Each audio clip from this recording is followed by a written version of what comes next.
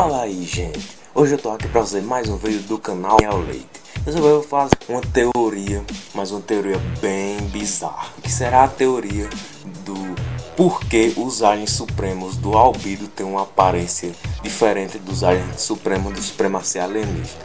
Então já deixa aquele like, se inscreve e se prepare porque o vídeo vai ser bem sinistro. Vamos começar contando a história de Albido Albido era um cientista gênio galvaniano, assistente de Azimuth, o criador do Omnitrix. O Omnitrix pertencia a Ben Tennyson, é claro, como nós já sabemos. Porém, Albido sentia muito ódio do Ben por ter esse Omnitrix. Ele não aceitava que um humano como Ben tivesse o Omnitrix. Então ele criou uma cópia do Omnitrix, só que acidentalmente sincronizou seu DNA com o de Ben, virando uma cópia exata de Ben. Albedo então tinha apenas um objetivo, voltar à sua forma normal. Porém, graças a Ben, Albedo nunca conseguia alcançar esse objetivo. E por ser humilhado por Ben várias vezes, ele foi acumulando mais ódio pelo Ben além de não suportar estar na forma dele, a forma humana dele, ele não tinha mais aquela alegria, não tinha mais tanta emoção, ele virou um sociopata, não tinha muitos amigos, ele ele virou um, um louco por vingança, ficou dominado por ódio.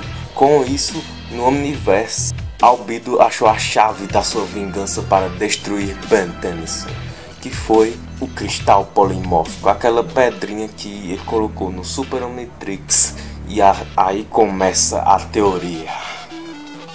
Vamos manter por base o anime Digimon. O Digim escolhido usa um brasão, né, que, que é o que simboliza a amizade dele com seu Digimon. Mas quando o Digimon fica com ódio, fica com vontade de destruir as coisas, o brasão absorve esse ódio, no qual faz com que o Digimon é, faça uma digitransformação e se transforma numa forma bem perturbadora. No caso do Digimon Greymon, ele acaba se transformando no Skull Greymon, no qual ele é uma forma bem esquelética e que tem vontade de destruir tudo. Semelhante a isso acontece com Albido ao colocar a pedra, a, a, o cristal polimórfico no seu Ultimatrix e evolui seus aliens. Eles ganham uma aparência muito sombria e mais forte que a dos aliens do Ultimate Alien. Um exemplo é o Normosaur Supremo, que ganha uma aparência bem mais monstruosa e bem mais destrutiva e agressiva, no qual ele fica um pouco mais robótico, além de ganhar garras e chifres. O Eco Eco Supremo, ele.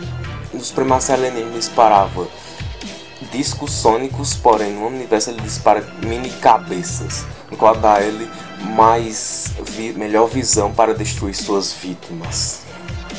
E Macaco Aranha Supremo que ganha uma força superando a de quatro braços, no qual ele ganha seis braços ao invés de quatro, que era o que ele tinha originalmente, quase destrói Ben Tennyson. Se não fosse por, pelo Ardit, Albedo finalmente tenha alcançado seu objetivo de se vingar. Porém, alguns Supremos não são tão fortes como suas formas originais. Um exemplo é Gravataque Supremo, que tem o núcleo em sua boca, no qual isso seria uma desvantagem se alguém desse um chute ou um soco na boca dele, né? no qual o núcleo é, é a fraqueza do Gravataque. Então, o Gravataque Supremo ter essa desvantagem, né? Dele não ter pernas e também aqueles negocinho que fica na cabeça, na cabeça dele, né? Que parece esse aqui pequeno, que é baseado naquele Pokémon lá. Que eu vou botar a imagem dele lá aí. No qual não se sabe a consequência de destruir aqueles bichinhos. Porém, deve ser uma, conse uma consequência bem desagradável para Albedo. Também temos Iguana Ártica Supremo, que ele tem canhões, canhões de gelo e é bem mais forte. Porém, como mostrado na luta do Friagem versus Iguana Ártica, seus canhões podem ser devorados por seus inimigos. Então, se um Gourmand chegar no Iguana Ártica Supremo e engolir seus canhões, já era. Além do mais, ele tem surf no gelo, que dá a ele grande vantagem. Porém, ele não é tão age como sua forma original, mas mesmo assim ele é um dos melhores supremos, já que ele é ligado com essa crônica do ódio que o Albedo tem pelo Ben. E é com isso que eu termino dizendo que os Supremos do Universo, se tiveram uma luta com os Supremos de Supremacia Alienígena, eles com certeza ganhavam por, pela sua incrível força causada pelo ódio de Albedo. Albedo tentou se vingar de Ben, conseguiu? Não porém alcançou seu objetivo de voltar à sua forma original de Galvaniano. Mas pelo grande ódio por, pelo Ben, ele conseguiu a forma Albedo Supremo, no qual é uma forma muito mais poderosa que os Galvanianos originais, que podem, no qual ele pode flutuar e tem muita mais inteligência e também dispara raios cerebrais, no qual com o Albedo Supremo, Albedo também pode se vingar de sua outra vítima, que é Azimuth. Ambos, Ben e Azimuth, humilharam bastante Albedo. Ao avião passando, um desses exemplos de humilhação foi no final do episódio por mais alguns cérebros. Azimuth transforma Albedo na forma do Ben e 11 anos. Já não basta Albedo ter a forma do Ben de 16 anos, agora ele é mais humilhado ficando na forma do Ben de 11 anos. Albedo já tentou matar Ben Tennyson junto com os outros Bens do mal, no, então não havia mais ninguém, então não havia o Ben.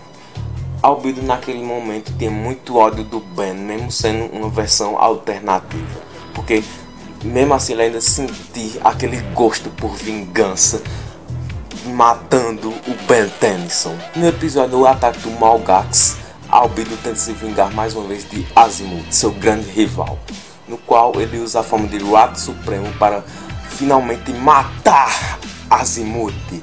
Só que se não fosse por Blue Triba, Azimuth já era. Com isso, Azimuth mais uma vez humilha Albedo, bloqueando seu Super Omnitrix. E assim termina essa teoria bizarra sobre as formas supremas de Albedo todo esse ódio que Albedo sentia por Ben Tennyson e Azimuth foram que ocasionaram essas transformações nos aliens supremos. Se você gostou desse vídeo, deixa aquele like, se inscreve no canal se não for inscrito, compartilhe o vídeo com seus amigos, adicione os favoritos e ative o sininho aí embaixo para receber as notificações. Beleza, gente? É, eu falei nessa forma dark, nessa forma mais sombria, porque aqui eu acho que combinava com a teoria, né? Porque tem esse negócio de ódio do, do Albedo, essas coisas, o, além dos dele no Supremacia, no Omniverse estarem mais sombrios, então acho que combinou, né? Essa, essa ideia foi posta pelo, pelo Otávio também, né? Eu, eu, ele me deu essa ideia de fazer o vídeo assim, né? Então, valeu aí, Otávio. E Ben Tennyson, cuidado na escuridão da noite pois Albedo pode estar de volta para se vingar de você, de uma maneira ou de outra. Falou e tchau!